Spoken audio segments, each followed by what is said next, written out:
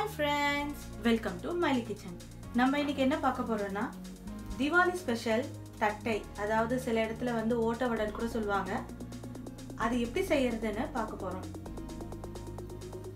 இதற்கு தேவையான பொருட்கள் அரிசி மாவு நான் கடலைப்பருப்பு வந்து ஒரு மணி நேரத்துக்கு முன்னாடி எடுத்து ஊற வச்சுருக்கேன்.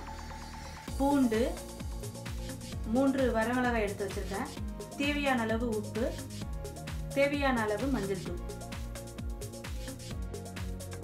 முதல்ல ஸ்டவ் ஆன் பண்ணிக்கிட்டு அதில் பேனை வச்சுருவோம். பேன் சூடான உடனே இந்த கப்பில் வந்து ரெண்டு கப் அரிசி மாவு எடுத்திருக்கேன். முதல்ல அரிசி மாவை வந்து வறுத்து எடுத்துப்போம்.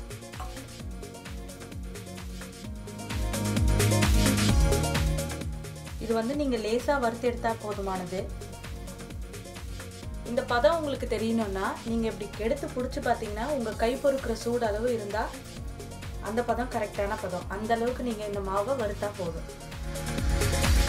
இந்த தட்டைக்கு வந்து நான் வந்து கடலைப்பருப்பு ஊற வச்சு சேர்க்க போகிறேன் நீங்கள் வந்து வேர்க்கடலை கூட சேர்த்துக்கலாம். சில பேர் எள்ளு சேர்ப்பாங்க. நான் வந்து இன்னைக்கு கடலைப்பருப்பு மட்டும்தான் சேர்க்க போகிறேன் உங்களுக்கு எள்ளு வேணும்னா சேர்த்துக்கோங்க. அதே மாதிரி கடலைப்பருப்பு வேணும்னாலும் சேர்த்துக்கோங்க. எது சேர்த்தாலுமே ஒரே டேஸ்ட்டு தான் வரும். இப்போ பார்த்தீங்கன்னா கை பொறுக்கிற சூடு அளவு இருக்குது இந்த பதம் போதுமானது. இப்போ நம்ம இதை ஆஃப் பண்ணிக்கலாம். இதை ஆஃப் பண்ணிட்டு நம்ம ஒரு பாத்திரத்தில் மாற்றிக்கலாம் நான் வறுத்த அந்த அரிசி மாவை இந்த பாத்திரத்தில் கொட்டி கொஞ்சம் சூடு ஆடுற வரைக்கும் தனியாக எடுத்து வச்சுக்கலாம் இப்போ இந்த தட்டை வடைக்கு தேவையான மசாலா வந்து அரைச்சிக்கலாம். நான் அஞ்சு பல் பூண்டு வந்து எடுத்து வச்சுருக்கேன். தோலோடு எடுத்து வச்சுருக்கேன் பாருங்கள் இதை நம்ம அரைக்கிறதுக்கு போட்டுக்கலாம்.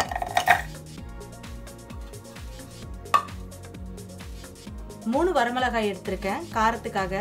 நீங்கள் காரம் அதிகமாக வேணும்னா இன்னும் கூட ரெண்டு எக்ஸ்ட்ரா ஆட் பண்ணிக்கலாம். இதையும் இதில் போட்டுக்கலாம். இப்போ இதை நம்ம அரைச்சி எடுத்துக்கலாம்.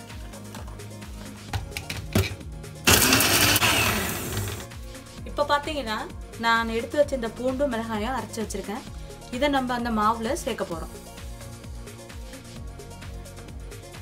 இப்போ நம்ம எடுத்து வச்சிருக்கிற மாவு சூடு ஆறிடுச்சு. இதில் நம்ம முதல்ல அளவு உப்பு போட்டுக்கலாம். நான் ஒரு ஸ்பூன் போட்டிருக்கேன்.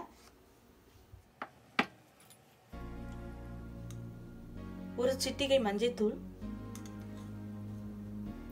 மஞ்சள் தூள் வந்து நான் கலருக்காக சேர்த்துருக்கேன். அப்புறம் நம்ம அரைச்சி வச்ச இந்த விழுது. இதையும் நம்ம சேர்த்துக்கலாம்.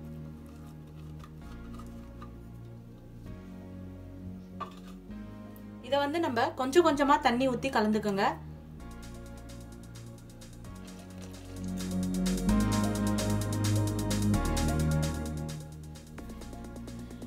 இப்போ நம்ம ஊற வச்சிருக்கிற இந்த கடலைப்பருப்பையும் இதில் சேர்த்துக்கலாம்.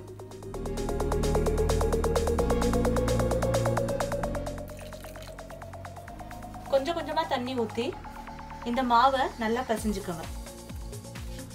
நான் கடைசியா கொஞ்சமா எண்ணெய் ஊற்றி இந்த மாவை இன்னும் கொஞ்சம் ஸ்மூத்தாக பசைஞ்சுக்கிறேன். இப்போ பார்த்தீங்கன்னா லாஸ்ட்டாக இந்த பக்குவத்துக்கு இந்த மாவை நம்ம பிசைஞ்சு ஒரு ஒன்றுலேருந்து ரெண்டு நிமிஷத்துக்கு எடுத்து வச்சிடலாம். இப்போ அடி கனமாக இருக்கிற பாத்திரத்தில் எண்ணெயை ஊற்றி காய வச்சுக்கோங்க. ஏன்னா வந்து அடி கனம் இல்லைன்னா உங்களுக்கு சீக்கிரமாக வந்து நம்ம போடுற வந்து கரிஞ்சு போயிடும். அதனால் அடி கனமாக இருக்கிற பாத்திரத்தில் எண்ணெயை ஊற்றி நான் வச்சுருக்கேன். எண்ணெய் காஞ்ச உடனே நம்ம இந்த ஓட்ட வடையை தட்டிக்கலாம். இப்போ நான் வந்து பார்த்தீங்கன்னா நான் ஒரு கவரில் வந்து தட்டுறேன். உங்கள் வீட்டில் வாழை இலை இருந்ததுன்னா நீங்கள் அந்த இலையை யூஸ் பண்ணிக்கோங்க.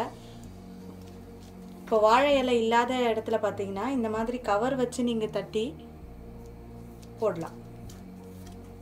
இது ரொம்ப ஈஸியாக இருக்குங்க. நீங்கள் இதை ட்ரை பண்ணி இப்படி நீங்கள் எடுத்தீங்கன்னா இப்படி வரும்.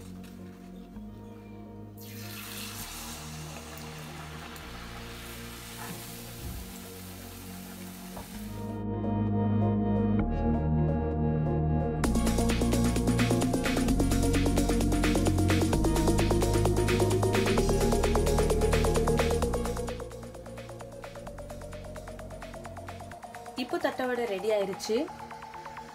இந்த ரெசிபி உங்களுக்கு பிடிச்சிருந்ததுன்னா இந்த தீபாவளிக்கு கண்டிப்பாக ட்ரை பண்ணுங்க. இந்த வீடியோவுக்கு லைக் பண்ணுங்க கமெண்ட் பண்ணுங்க ஷேர் பண்ணுங்க.